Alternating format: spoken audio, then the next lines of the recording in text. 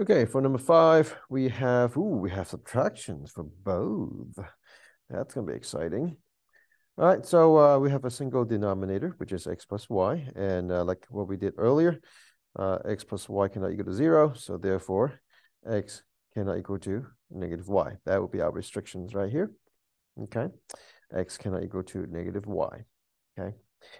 All right, so uh, let's see. Uh, we have 4 times 3x plus 2, so that would give us uh, 12x plus 8, okay?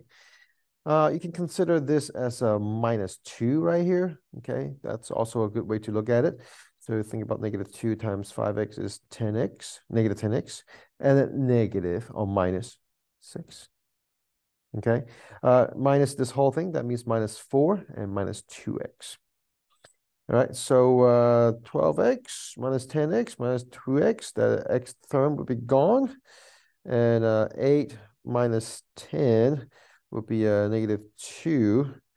So after everything it's uh, canceled, you simply have negative, uh, 2 over x plus y, or you can also write it this way. Either way, it's fine.